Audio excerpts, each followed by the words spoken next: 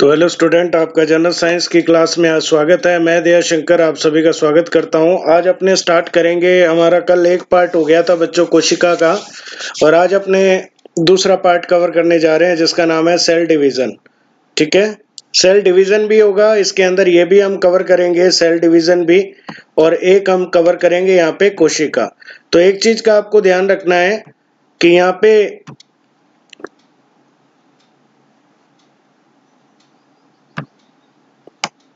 कोशिका के बारे में आज का जो लेक्चर है, ये थोड़ा लंबा चलेगा, क्योंकि आज पूरा कोशिका कवर हो जाएगा और सेल डिवीज़न आपका कवर हो जाएगा। लंबा चैप्टर है, इसलिए मैं चाहता हूँ कि एक ही लेक्चर में आपका कवर हो जाए। इस लॉकडाउन में आप ज़्यादा से ज़्यादा फ़ायदा उठा सकें। तो स्टार्ट करते हैं विदाउट टाइम वेस्ट किए हुए। ओके तो ये बच्चों, एक स्ट्रक्चर दिखाई हुई है, मैं आपको थोड़ा सा बता देता हूँ, ये किसकी संरचना है। कि हम यहाँ पे कोशिका अंग पढ़ने वाले हैं तो हम कोशिका के भाग पढ़ेंगे सबसे पहले, और कोशिका भित्ति। तो ये जो संरचना है बच्चों, ये सेल वॉल की संरचना है।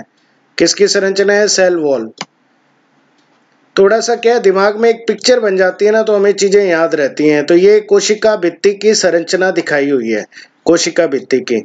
तो आपको वैसे पता ही है कि जितने भी पेड़ पौधे होते हैं, उनकी कोशिका भित्ति किसकी बनी होती है? सेल्यूलोज की बनी होती है। किसकी?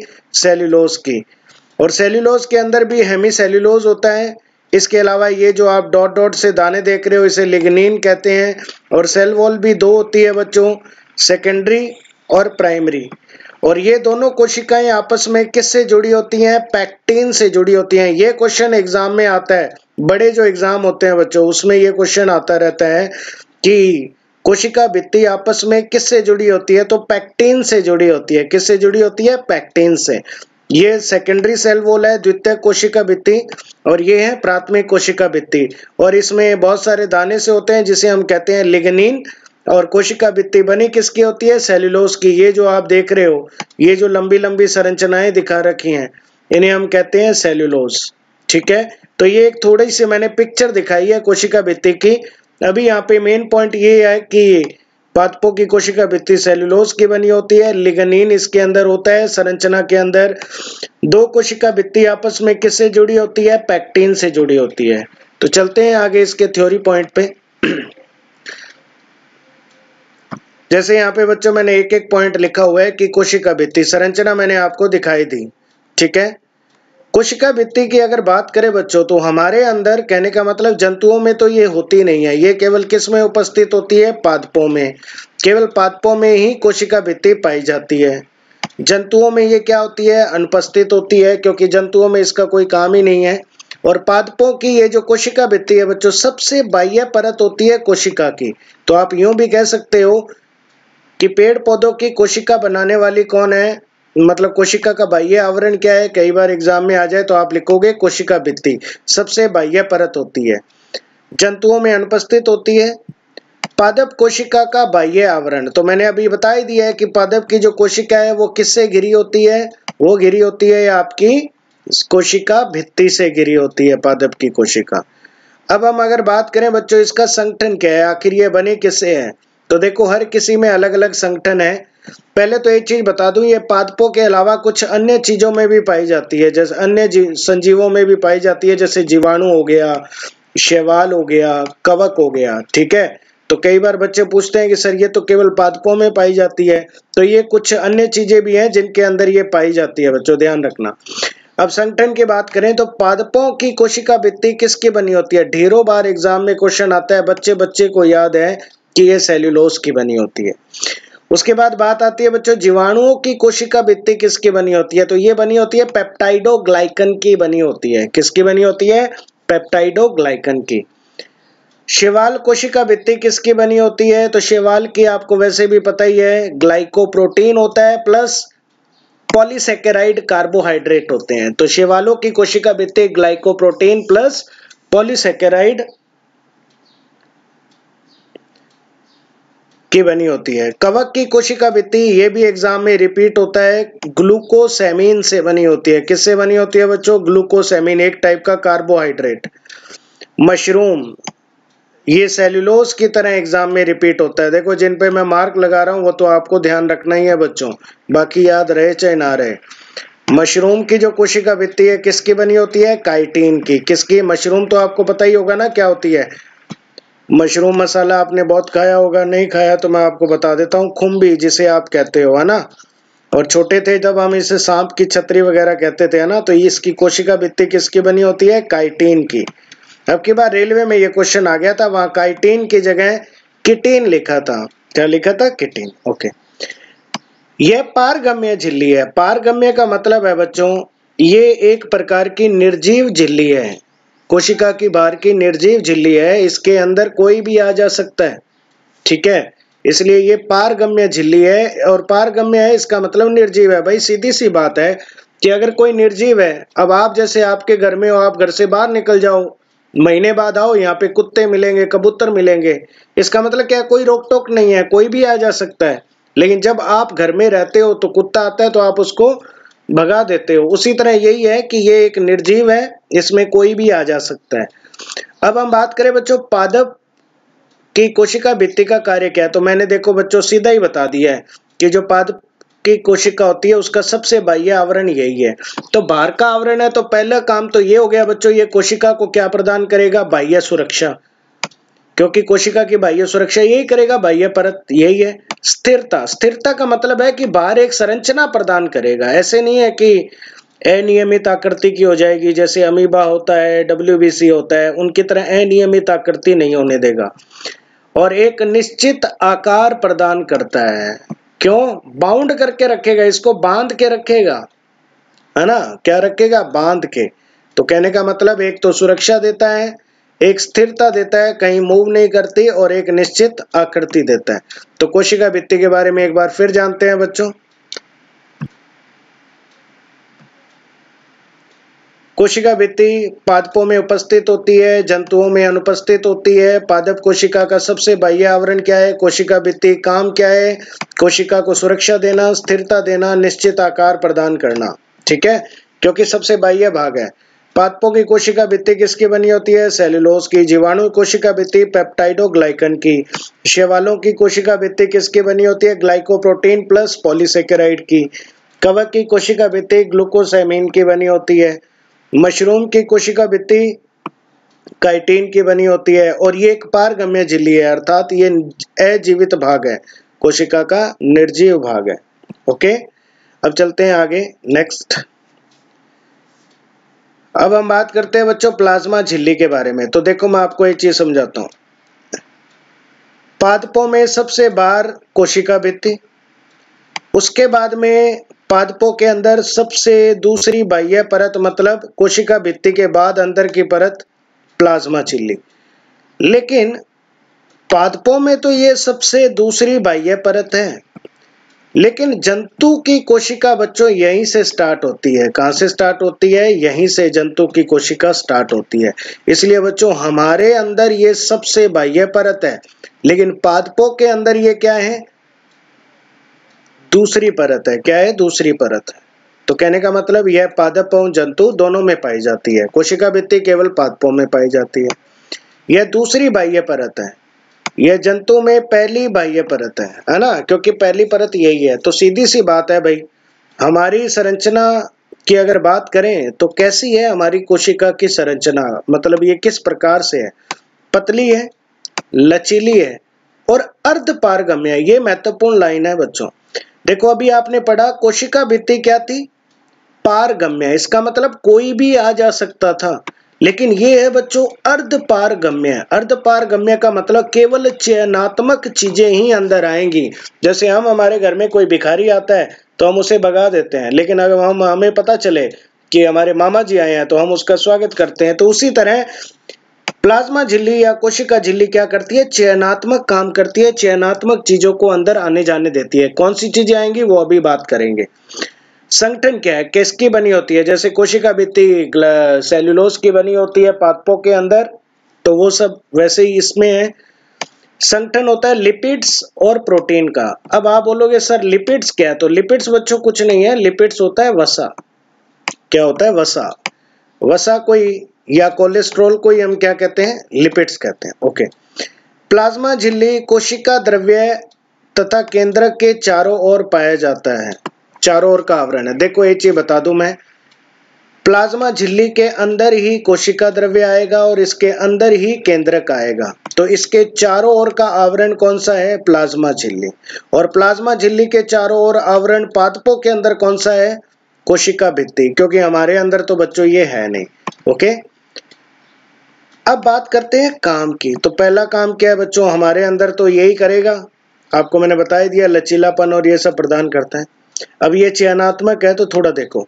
यह विभिन्न प्रकार के अणुओं तथा आयनों को, भाई हमारे अंदर बहुत सारे आयन्स होते हैं, कोई भी खनिज होते हैं, आयनित अवस्था में होते हैं तो कोशिका के अंदर जाने पर नियंत्रण रखती है। नियंत्रण का मतलब अभी मैंने बताया, चयनात्मक है ये। चयनात्मक का मतलब चुनी हुई चीज़ें ही अंदर जाएँगी। तो हमारे कोशिका में अणुओं और आयनों के स्थानांतरण में क्या रखते हैं? नियंत्रण। कोशिका द्रव्य में आयनिक सांद्रता बनाएँगे। सांद्रता का मतलब होता है, बच्चों, घनत्व कितना है, कि कितना ज़्यादा गाढ़ा है, कितना पतला है, कोशिका द्रव्य ज़्यादा गाढ़ा नहीं हो जाए, ज़्यादा पतला नहीं हो जाए, ये सब। ठीक है? विसरण। विसरण का मतलब होता है बच्चों, कोई भी चीज़ होती है, वो ज़्यादा घनत्व से कम घनत्व की तरफ़ जाती है। ज़्यादा घनत्व से कम घनत्व की तरफ़ जब जाए तो उसे कहते हैं विसरण। और जब चीज़ ज़्यादा सॉरी जब चीज़ आपकी कम घनत्व से ज़्यादा घनत्व की तरफ़ जाए तो उसे कहते हैं परासरण। और प्रोटीन संश्लेषण आदि में सहायता करती है। प्रोटीन संश्लेषण में भी सहयोग करती है। लेकिन मुख्यतः प्रोटीन संश्लेषण का काम राइबोसोम का होता है, लेकिन ऐसा नहीं है, ये उसमें सहयोग करती है, वो बनाती है। अब यहाँ पे थोड़ा सा क्लियरली जानते हैं, सर, विसरण क्या होता है? तो देखो बच्चों, मैं आपको एक छोटा सा एग्ज़ाम्पल दिखाता हूँ, बताता हूँ। जब भी कोई आदमी सुट्टा मारता है तो उसके मुँह के पास धुआँ बहुत ज़्यादा होता है। तो मुँह के पास उसके धुआँ बहुत ज़्यादा है, इसका मतलब ये है कि धुआँ ज़्यादा घनत्व से कम घनत्व की तरफ़ जाता है। पानी की बोतल है बोतल है, उसके अंदर पानी है। आप छेद निकाल दो। छेद निकालोगे तो पानी का घनत्व बोतल में ज़्यादा है तो वो बोतल से बाहर निकलेगा मतलब कम घनत्व की तरफ़ जाएगा। वो कहलाता है विसरण। जब भी कोई चीज़ ज़्यादा घनत्व से कम घनत्व की तरफ़ जाए। परासरण क्या है? परासरण बिल्कुल उल्टा होता है बच्चों। जब चीज़ आपकी कम घनत्व से ज़्यादा घनत्व की तरफ़ प्रवाहित हो, उसे हम कहते हैं परासरण तो विसरण और परासरण ये दोनों अभिक्रियाओं को कराने में सहयोग करता है। ठीक है? तो एक बार मैं फिर आपको रिवाइज करता हूँ बच्चों फटाफट। प्लाज्मा झिल्ली पादप और जंतु में दोनों में पाई जाती है। पादपों के अंदर दूसरी बाह्य परत है, जंतु में पहली बाह्य परत है। पतली, लचीली और अर्ध पारगम्य है लिपिड्स प्रोटीन की बनी होती है। प्लाज्मा झिल्ली कोशिका द्रव्य तथा केंद्र के चारों तरफ़ का आवरण है। आयनों की सांद्रता बनाती है। कोशिका द्रव्य में आयनिक सांद्रता मेंटेन करती है। विसरण, परासरण और प्रोटीन संश्लेषण में सहयोग करती है। ओके चलते हैं नेक्स्ट अब ये देखो बच्चों, मैंने एक कोशिका की संरचना बनाई हुई है और बिल्कुल वास्तव में आकृति ऐसी ही होती है, ठीक है? आकृति वास्तव में कैसी होती है? ऐसी जैसी आपको दिखाई दे रही है। जैसे देखो बच्चों, ये यहाँ पे मैं बात करूँ तो ये क्या है? अंत्य प्रदेवी जालिका लेकिन इनके ऊपर कुछ भी लगा हुआ नहीं है है ना? एकदम चिकनी है। तो ये चिकनी अंत्य प्रद्यवी जालिका है। चिकनी का मतलब S E R smooth endoplasmic reticulum. अब ये वाली देखें अगर बच्चों, ये वाली, अगर मैं इनकी बात करूँ तो ये जो है, इनके बाहर मैंने कुछ कुछ दाने से लगा रखे हैं और ये दाने कुछ नहीं है, राइबोसोम है। तो जिन पे राइबोसोम पाए जाते हैं, उन्हें कहते हैं खुरदरी अंत प्रदेवी जालिका। एक एक करके बात भी करेंगे, लेकिन पहले संरचना देख लो। उसके बाद में बात करें बच्चों, ये वाली संरचना देखो आप। ये है तारक का है। क्या है? तारक का है। तो तारक काय बिल्कुल दिखने में ऐसा होता है, लंबवत संरचनाएँ होती हैं इसके अंदर, जिन्हें हम तारक केंद्रिका कहते हैं। आगे मैं बताऊँगा, तारक केंद्रिका क्या होती है। तो ये आपस में लंबवत होती है, संरचनाएँ बनाती हैं। इसमें कुछ सूक्ष्म नलिकाएँ पाई जाती हैं बच्चों ऐसी। ये मैंने कुछ दो ही दिखा रखी हैं आपको। ये जो नलिकाएँ मैंने आपको दिखाई हैं, ये कितनी है? दो ही दिखा रखी हैं बच्चों। दो ही दिखा रखी हैं। ये नलिकाएँ बच्चों आपस में मिल के कोशिका का कंकाल बनाने में सहयोग करते हैं। आगे मैं डिस्कस करूँगा अभी मैं थोड़ा थोड़ा बता रहा हूँ ताकि आपको ध्यान रहे। माइट्रोकॉन्ड्रिया संरचना देख लो बच्चों माइट्रोकॉन्ड्रिया की संरचना कुछ इस प्रकार से होती है। ठीक है? ऐसी होती है। आगे मैं पिक्चर भी दिखाऊँगा। ये है बच्चों लाइसोसोम लाइसोसोम कुछ नहीं होता, थैली होती है, थैली। एक पाउच से होते हैं और इस पाउच के अंदर एक, शारीय अमल भरा होता है सॉरी एक अमल भरा होता है इसके अंदर। ठीक है? आगे हम बात करेंगे और आपको पता भी होगा इसे आत्महत्या की थैली कहते हैं। राइबोसोम, ये जो आप दाने से देख रहे हो बच्चों, ये जो दाने आप देख रहे हो, ये हैं आपके राइबोसोम।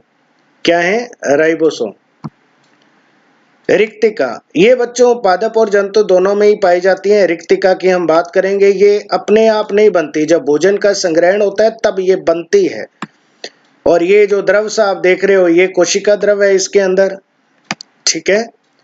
गोल्जी काय काय की संरचना देखो बच्चों कैसी है। ये गोल्जी काय की संरचना है। ठीक है? आगे मैं फ़ोटो भी दिखा दूँगा आपको। प्लाज्मा झिल्ली, ये जो परत है बच्चों, देखो दो परतें बनाई है मैंने। एक ये परत है, इसे कहते हैं प्लाज्मा झिल्ली, और ये सबसे बाह्य परत है। ये जो आप सबसे बाह्य परत देख रहे हो इस बाह्य परत को हम क्या कहते हैं? कोशिका भित्ति कहते हैं, ठीक है? उसके बाद में ये केंद्रक दिखाया हुआ है बच्चों, ये केंद्रक है आपका, ये पूरा केंद्रक है।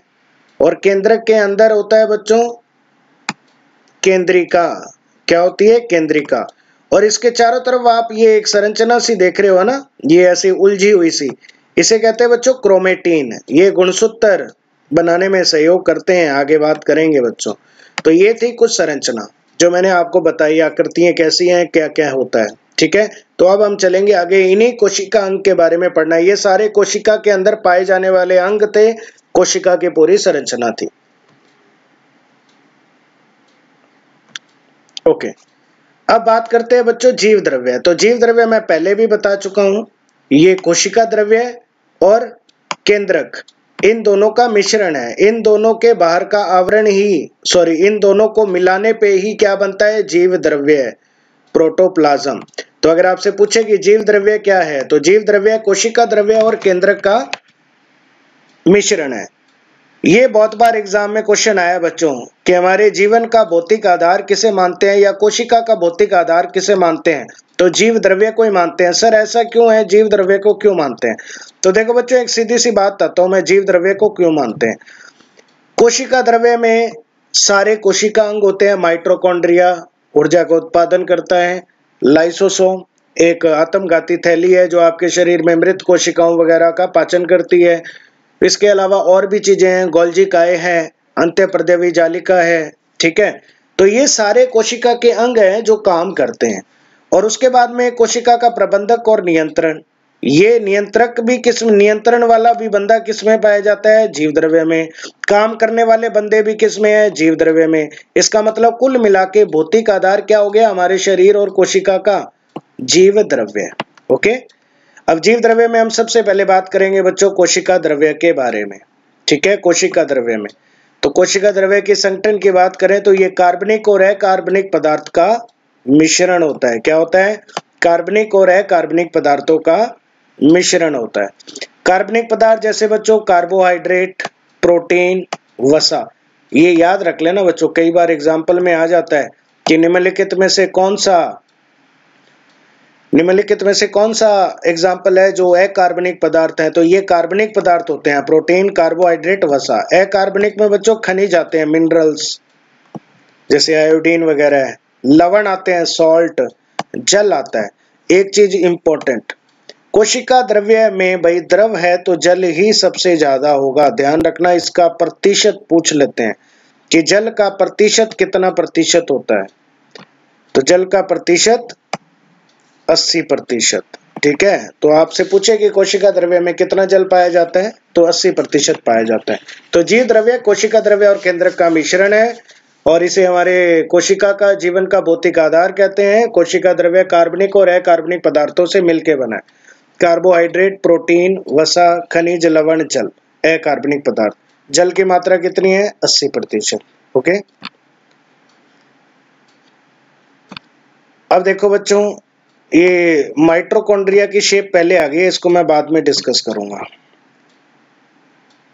कोशिका द्रव्य में श्वसन की एक अभिक्रिया होती है, जिसका नाम है ग्लाइकोलाइसिस। ये मैं श्वसन के अंदर आपको बताऊँगा बच्चों।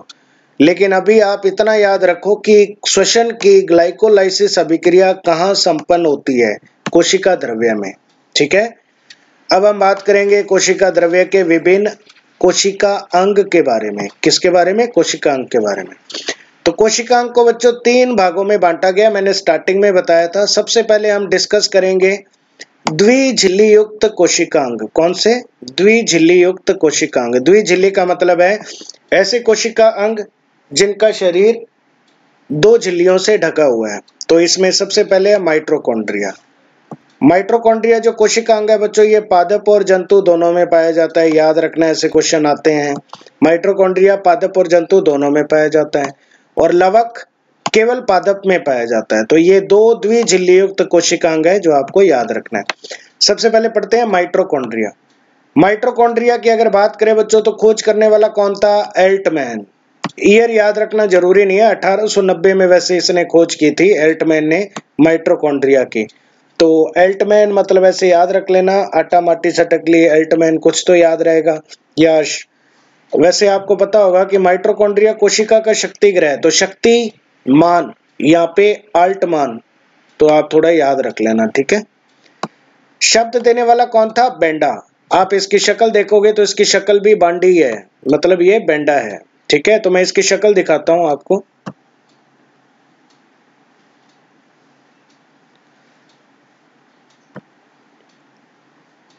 शक्ल पीछे रह गई है। चलो, आगे चलते हैं। नोट एल्टमैन ने माइट्रोकॉन्ड्रिया शब्द नहीं दिया था भाई। एल्टमैन ने खोज कर दी, लेकिन वो उसको माइट्रोकॉन्ड्रिया नहीं बोलता था। वो उसको क्या बोलता था? बायोप्लास्ट बोलता था। क्या बोलता था? बायोप्लास्ट लेकिन इसका शब्द देने वाला कौन था? बेंडा था। कौन था? बेंडा आगे अगर बात करें बच्चों माइट्रोकॉन्ड्रिया का मुख्य कार्य क्या है? एक तो आपको बचपन से याद है। कोशिका के अंदर एक ही चीज़ है जो आपको बचपन से याद है कि कोशिका को हमारे शरीर का शक्ति ग्रह कहते हैं। है ना? तो वो तो काम है ही, क्योंकि ऊर्जा का उत्पादन सबसे ज़्यादा यही होता है। यह कोशिका के पाचन तंत्र का काम करता है। ठीक है? कहने का मतलब भोजन को तोड़ने का काम करेगा और जैसे ही भोजन टूटेगा, आपको क्या देगा? ऊर्जा प्रदान करेगा। तो कहने का मतलब यही मैंने बताया था कि इसको कोशिका का शक्ति ग्रह कहते हैं। लेकिन ये भोजन को तोड़ता है और ऊर्जा का उत्पादन करता है, उस अभिक्रिया का नाम क्या है? तो श्वसन की एक अभिक्रिया होती है बच्चों क्रैप्स चक्र अभिक्रिया। और इस अभिक्रिया में हमें सबसे ज़्यादा ऊर्जा मिलती है 34 एटीपी ऊर्जा मिलती है। अगर आपको बच्चों उंगली भी हिलानी है ना तो भी ऊर्जा यहीं से निकल के आएगी 34 एटीपी से। और ये क्रैप्स चक्र की अभिक्रिया संपन्न कहाँ होती है? माइट्रोकॉन्ड्रिया में। अभी मैंने आपको बताया था कि कोशिका द्रव्य में जो श्वसन की अभिक्रिया होती है, वो कहाँ होती है? सॉरी कोशिका द्रव्य में श्वसन की कौन सी अभिक्रिया होती है? ग्लाइकोलाइसिस लेकिन उसमें ऊर्जा मिलती है बहुत कम। आगे हम बात करें बच्चों, माइट्रोकॉन्ड्रिया को कोशिका का शक्ति ग्रह कहते हैं। तो ये क्यों कहते हैं? क्योंकि सबसे ज़्यादा ऊर्जा का उत्पादन यही होता है और हमारे शरीर के हर एक छोटे काम के लिए ऊर्जा हमें यहीं से मिलती है। संगठन की बात करें, किसका बना है? तो ये वैसे कोई पूछता तो है नहीं। प्रोटीन सबसे ज़्यादा होता है, पैंसठ परसेंट। फॉलिक एसिड होते हैं। आरएनए, डीएनए, ये इंपॉर्टेंट है बच्चों। माइट्रोकॉन्ड्रिया में आरएनए भी पाया जाता है और डीएनए भी पाया जाता है। खुद का डीएनए होता है इनके पास, ओके? आगे बच्चों, अभी देखो ये पीछे बैक होने में थोड़ा दिक्कत आ रही है तो मैं यहाँ पे ही एक्सप्लेन कर रहा हूँ। आगे हम पढ़ने वाले हैं लवक के बारे में। नेक्स्ट जो हमारा कोशिकांग आएगा, लवक। है ना? तो मैंने यहाँ लवक का थोड़ा सा व्यू लिया हुआ है।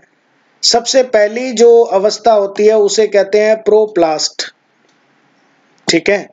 प्रोप्लास्ट में ये आपका आएगा ल्यूकोप्लास्ट हम जो मुख्यतः तीन पढ़ेंगे ल्यूकोप्लास्ट क्लोरोप्लास्ट और क्रोमोप्लास्ट क्रोमो का मतलब होता है बच्चों, वर्णी, जो बहुत सारे रंग दे अलग अलग प्रकार के रंग दे। और क्लोरोप्लास्ट जैसे ये हरा ही दिख रहा है तो आपको पता है कि पादपों में हरे रंग के लिए उत्तरदायी कौन है? क्लोरोप्लास्ट है। ल्यूकोप्लास्ट बच्चों देखो, कोई भी रंग नहीं है। ये छोटा छोटा स्पॉट दिख रहा है आपको, सफ़ेद सा, है ना? कोशिका के अंदर सफ़ेद सा। इसका मतलब कोई रंग नहीं है। ये किसी रंग के लिए उत्तरदायी नहीं होता। तो ये दिखने में कुछ ऐसे होते हैं जो मैंने आपको दिखाया ओके? अब इनके पॉइंट्स के बारे में डिस्कस करते हैं। सबसे पहले बात करें बच्चों, लवक की खोज किसने की? तो देखो, लवक की खोज की थी हैकल ने 1866 के अंदर। अब बच्चों एक बात बताओ, लवक केवल पादपों में पाया जाता है। इसका मतलब पादप तो कभी बोलते ही नहीं। बोलते नहीं क्यों? क्योंकि वो हकले होते हैं तो ऐसे याद रख लेना हैकल। खोज और शब्द, दोनों किसका काम था? हैकल का। देखो बच्चों, कई जो बंदे हैं, वो ये भी बताते हैं कि इसकी खोज शिम्पर ने की थी तो मैं आपको एक चीज़ क्लियर कर दूँ बच्चों। शिम्पर ने इसकी क्लियरली डेफिनेशन दी थी, परिभाषा दी थी अठारह के अंदर 1883 के अंदर, कि वास्तव में लवक होता क्या है, ठीक है? तो खोज करने वाला हैकल ही था, शब्द देने वाला भी हैकल था, लेकिन इसको क्लियरली डिफाइन करने वाला बंदा कौन था? शिम्पर था। लवक केवल पादप कोशिका में पाया जाता है। लवक कितने प्रकार के होते हैं? तीन प्रकार के। और ये तीन प्रकार कौन से हैं बच्चों? वर्णी लवक हरित लवक और अवर्णी लवक वर्णी लवक की अगर बात करें बच्चों, यहाँ पे तो यह फूलों में, मैंने बता दिया ना आपको, जितने भी फूल हैं, जितनी भी पत्तियाँ हैं, आपने घरों में छोटे छोटे पौधे देखे होंगे अलग अलग कलर के तो उन सब के अंदर केवल हरे रंग को छोड़कर बाकी जो भी कलर हैं, उन सब के लिए रिस्पॉन्सिबल कौन है? वर्णी लवक। यह पादपों में, फलों में, सब्जियों आदि में पाया जाता है। भाई अलग अलग रंग होते हैं। अब जैसे मैंने कुछ यहाँ लिखा है, गाजर का नारंगी रंग किसके कारण होता है? लाल नारंगी रंग, बीटा कैरोटीन वर्णी लवक के कारण। चकुंदर आपने देखा ही होगा, गहरा लाल रंग किसके कारण होता है? बिटानिन के कारण। बैंगन का, बैंगनी रंग किसके कारण? जेंथोसिन के कारण। टमाटर का लाल रंग किसके कारण? लाइकोपिन के कारण। ये तो मस्ट बी रिमेंबर तो आप ऐसे याद रख लो बच्चों। जी से गाजर सी से चकुंदर बी से बैंगन और टी से टमाटर। गाजर, चकुंदर, बैंगन, टमाटर। और इसमें ऐसे याद रख लो। C B Z L C B Z L G C B G C B T C B Z L या ऐसे याद रख लो, या ऐसे याद रखो बच्चों। राजस्थान में एक किसान आंदोलन हुआ था, जिसका नाम था करो बिजोलिया आंदोलन। तो आप ऐसे याद रखो, करो, बी टानीन, बी से बिजोलिया, बी से बी, जय से जय, और ल से ल बिजोलिया। करो बिजोलिया आंदोलन, क्योंकि सब्जियों से रिलेटेड है ना। और वो आंदोलन भी किससे हुआ था?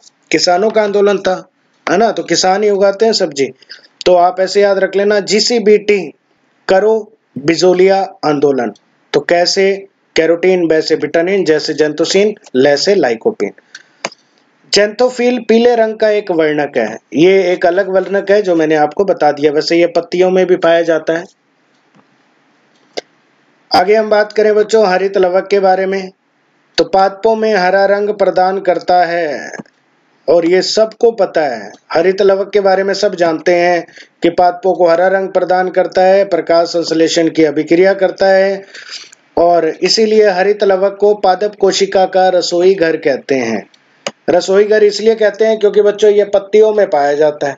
और पत्तियों के अंदर ही प्रकाश संश्लेषण की अभिक्रिया होती है और वहीं पे भोजन का निर्माण होता है। इसीलिए उसको क्या कहते हैं? किचन। जहाँ भोजन बने, उसे किचन कहेंगे। ओके? तो यहाँ पे कई बार हरित लवक न दे के ये भी पूछ लेते हैं कि पादपों का रसोई घर किसे कहते हैं? तो पत्तियों को कहते हैं, या हरित लवक को कहते हैं। अवर्णी लवक नाम से पता चल रहा है, कोई भी रंग प्रदान नहीं करेगा। अब एक बात तो कोई भी रंग प्रदान नहीं करेगा, इसका मतलब क्या है कि ये ऐसी जगह पाया जाएगा जो हमें दिखाई नहीं देती, और हमें कौन सी चीज़ दिखाई नहीं देती? पादपों में जड़े। सीधा सा ध्यान रखना अवर्णी अवर्णी का मतलब कोई रंग दिखाई नहीं देता। जो चीज़ दिखाई नहीं देती, वो पादप में क्या है? जड़। जड़ हमें दिखाई नहीं देती। तो ये किसमें पाया जाता है? जड़ों में। क्या करता है ये? ये जितने भी पादपों के अंदर बच्चों, अमीनो अमल है, उनको वसीय अमीनो अमल में बदल देता है। किसमें बदल देता है? वसीय अमीनो अमल में। एक तो ये काम करता है। दूसरा, पादपों की जड़ों में खाद्य संग्रहण का काम करता है। ठीक है? तो हरित लवक क्या करता है? पादपों में हरा रंग प्रकाश संश्लेषण की अभिक्रिया, हरित लवक पादप का रसोई घर है, अवर्णी लवक नो कलर, इसका मतलब नो स्पेस इसका मतलब वो स्पेस जहाँ पे ये छुपा हुआ होगा जड़ में, है ना? देखो, इसका अंग्रेज़ी में नाम भी यही है लुकोप्लास्ट ल्यूकोप्लास्ट तो लुको लुको से मतलब लुकेडो तो कहने का मतलब ये हमेशा छुपा हुआ रहता है जड़ों में। क्या करता है? अमीनो अमल को वसी अमल में बदलता है, ठीक है?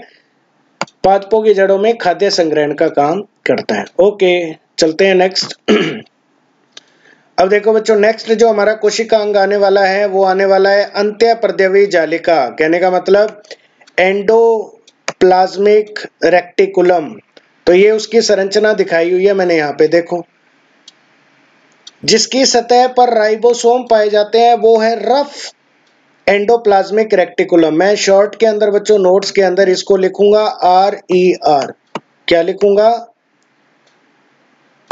आर ई आर और इसको मैं लिखूँगा एस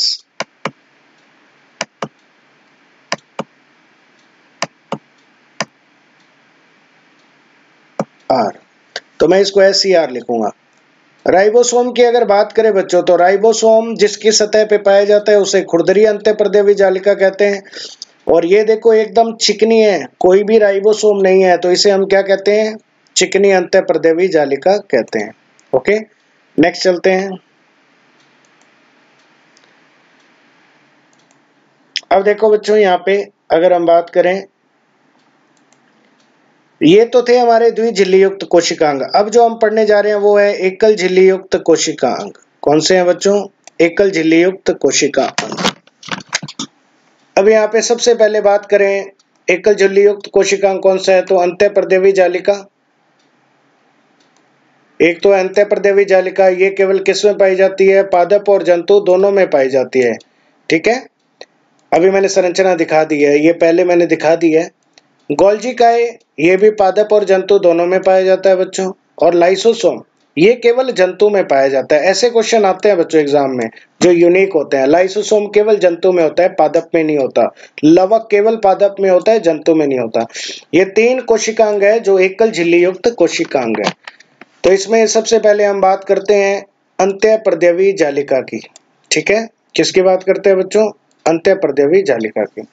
तो वही खोज करने वाला कौन था? पॉटर और टॉमसन। टॉमसन का नाम वैसे एग्ज़ाम में दिया नहीं होता बच्चों। ज़्यादातर किताबों में आपको पॉटर मिलेगा जो वन डे एग्ज़ाम की बुक है।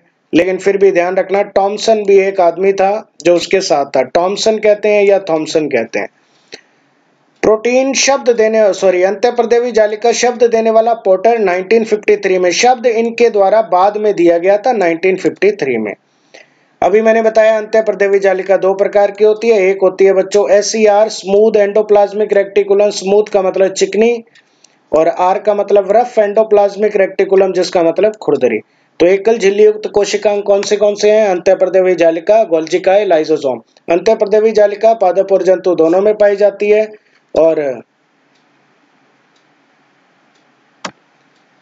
गोल्जी या आपका पादप और जंतु दोनों में पाया जाता है, और लाइसोसोम केवल जंतु में पाया जाता है ओके अंत्य प्रदेवी जालिका की खोज किसने की थी? पोटर ने और एक और था, टॉमसन। कौन था? टॉमसन। टॉमी कह दो आप, है ना? पोटर, आपने हैरी पोटर मूवी देखी होगी, हैरी पोटर का टॉमू। ठीक है तो ऐसे याद रख लेना। पोटर, शब्द देने वाला दो प्रकार की होती है एस सी आर और आर ई आर ओके आगे चलते हैं। अब इनके बारे में थोड़ा बच्चों जानते हैं कि एस सी आर अंत्य प्रदेवी, चिकनी अंत्य प्रदेवी जालिका, मैंने जो चीज़ बताई थी वही बच्चों। चिकनी अंत्य प्रदेवी जालिका की सतह पर राइबोसोम नहीं होते। खुरदरी अंत्य प्रदेवी जालिका की सतह पर राइबोसोम होते। हैं देखो बच्चों, राइबोसोम का मुख्य काम क्या है? प्रोटीन बनाना। एक चीज़ आपको ध्यान रखनी अब एक बात तो बच्चों चिकनी अंत्य प्रदेवी जालिका चिकनी है तो इसका काम क्या होगा? चिकनी चीज़ बनाना, चिकनी मतलब लिपिड्स लिपिड्स का मतलब वसा। तो ये एक तो फिक्स हो गया। इसके अलावा अगर बात करें बच्चों तो ये क्या करती है? कार्बोहाइड्रेट्स का निर्माण भी करती है। तो ये क्या बनाएगी? चिकनी है तो लिपिड्स तो याद ही रखो, वसा का निर्माण करते हैं और कार्बोहाइड्रेट्स का। ये यकृत कोशिकाओं में बच्चों कुछ एंजाइम भी बनाता है। और वो ऐसे एंजाइम होते हैं बच्चों, आपने एक चीज़ सुनी होगी यकृत के बारे में, कि यकृत हमारे शरीर के विषाक्त पदार्थों का, पदार्थों को बाहर निकालता है या निराविश करता है। तो उसमें कहीं ना कहीं अलग अलग ऑर्गन उसको सहयोग करते हैं। जैसे एस क्या करता है? यकृत कोशिकाओं में कुछ एंजाइम का स्त्रावण करता है और वो एंजाइम क्या करेंगे? विषैले प्रभाव को नष्ट करेंगे। ठीक है?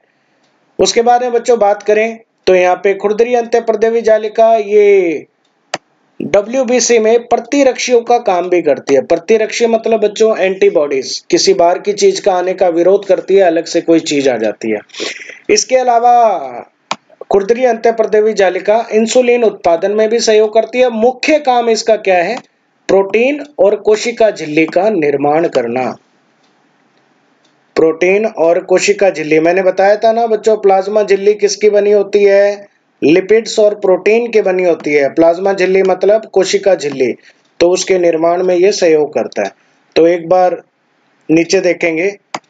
आर ई आर को, सॉरी अंत्य प्रदेवी जालिका ईआर e को कोशिका का कंकाल तंत्र कहते हैं, क्योंकि कोशिका की आंतरिक संरचना बनाने में ये सहयोग करता है और ये आंतरिक संरचना है। ईआर e कोशिका की आंतरिक संरचना बनाने में सहयोग करता है। ओके एक बार मैं फिर रिवाइज कर देता हूँ जल्दी जल्दी। चिकनी का मतलब बच्चों, जिसकी सतह पे राइबोसोम नहीं है, खुरदरी का मतलब जिसकी सतह पे राइबोसोम है। खुरदरी है, इसका मतलब राइबोसोम है तो क्या बनाएँगे? प्रोटीन बनाएँगे। इसके अलावा कोशिका झिल्ली का संश्लेषण करते हैं, क्योंकि प्रोटीन बनाते हैं तो प्रोटीन का योगदान रहता है उसमें। ये डब्ल्यू में कुछ प्रतिरक्षी एंटीबॉडीज का काम भी करता है। ठीक है? और ये इंसुलिन उत्पादन में भी सहयोग करता है। इंसुलिन एक हार्मोन है, जिसके बारे में हम अंतस्त्रावी तंत्र में पढ़ेंगे। कार्य की अगर बात करें बच्चों लिपिड्स और कार्बोहाइड्रेट्स बनाता है। एस यकृत कोशिकाओं में कुछ एंजाइम बनाकर यौगिकों को निराविश करने का काम करता है। ये भी थोड़ा ध्यान रखना है। और इसे कोशिका का कंकाल तंत्र कहते हैं। एग्ज़ाम में सीधा फैक्ट आएगा, कोशिका का कंकाल तंत्र किसे कहते हैं? तो आप बोलोगे अंत प्रदेवी जालिका को। क्यों? क्योंकि उसको आंतरिक संरचना प्रदान करता है। नेक्स्ट कोशिकांग है गोल्जिका है क्या है बच्चों? गोल्जिका है तो गोल्जिका की संरचना मैंने आपको दिखाई थी। ऐसी संरचनाएँ होती हैं इसकी। बीच में पतली होती हैं। ये गोल्जिका की ऐसी कुछ स्ट्रक्चर थी। खोज करने वाला, देखो गोल्जी साइंटिस्ट ही था बच्चों। कैमिलो गोल्जी ने 1898 में इसकी खोज की थी। ओके याद करने की ज़रूरत नहीं है। गोल्जी का ये क्या करता है कि आपके शरीर में बच्चों, जो भी चीज़ आती है, आपने एक चीज़ नोटिस की है, कभी भी ट्रैफ़िक पुलिस के रूल देखे होंगे, है ना? वो क्या करता है? इधर से कोई आया तो उसको बोलेगा, जाओ जाओ। जहाँ पे ज़्यादा क्राउड हो गया, उसको बोलेगा, एक बार रुक जाओ। है ना? तो वही काम गोल्जी काय हमारी कोशिका में करता है। जब मान लो कि प्रोटीन की ज़रूरत है तो ये प्रोटीन को बोलेगा, जाओ, बाकी सब चीज़ों को बोलेगा, रुक जाओ। तो इसीलिए इसे हमारे शरीर का, हमारी कोशिका का ट्रैफ़िक पुलिस या परिवहन केंद्र भी कहते हैं। और यूकैरियोटिक कोशिकाओं का विनिर्माण विनिर्माण का मतलब है, बच्चों, अगर कोई चीज़ मृत हो जाती है, टूट जाती है, फूट जाती है तो उसको वापस रीजनरेट करने में भी सहयोग करता है। यूकैरियोटिक क्या है? ये मैं आगे बात करूँगा अभी, ठीक है बच्चों? तो आपको पता चला कि इसको परिवहन के अंदर भी कहते हैं ट्रैफ़िक पुलिस भी कहते हैं, और ये यूकैरियोटिक कोशिकाओं, प्राणियों में क्या करता है? निर्माण भी करता है। सिस्टर्नी क्या है? ये वाला शब्द बच्चों एग्ज़ाम में पूछ लिया था आपकी बार। रेलवे का जो एग्ज़ाम था, उसमें आया था कि सिस्टर्नी क्या है। तो सिस्टर्नी बच्चों कुछ नहीं है वहाँ पे जो क्वेश्चन था, उसके अकॉर्डिंग यही था कि अर्ध गोल्जी काय के अंदर कुछ अर्धवृत्ताकार, ये जैसे आपको लग रहा है ना थोड़े से ऐसे, अर्धवृत्ताकार स्पाट जैसे थैली सी होती है, उन्हें हम सिस्टर्नी कहते हैं। और ये पूरा मिलके क्या बनाते हैं? गोल्जी काय बनाते हैं। पादप कोशिका में गोल्जी काय को क्या कहते हैं? डिक्टियोसम। ये इंपॉर्टेंट पॉइंट है बच्चों एग्ज़ाम पॉइंट ऑफ़ व्यू से। पादप कोशिका में क्या कहते हैं? डिक्टियोसम कहते हैं। ठीक है? इसे कोशिका का मुख्य स्त्रावी अंग कहते हैं। अब आप बोलोगे, सर, स्त्रावी अंग क्यों कहते हैं? तो अभी मैंने ये पॉइंट डिक्लेयर किया। ट्रैफ़िक पुलिस क्यों कहते हैं?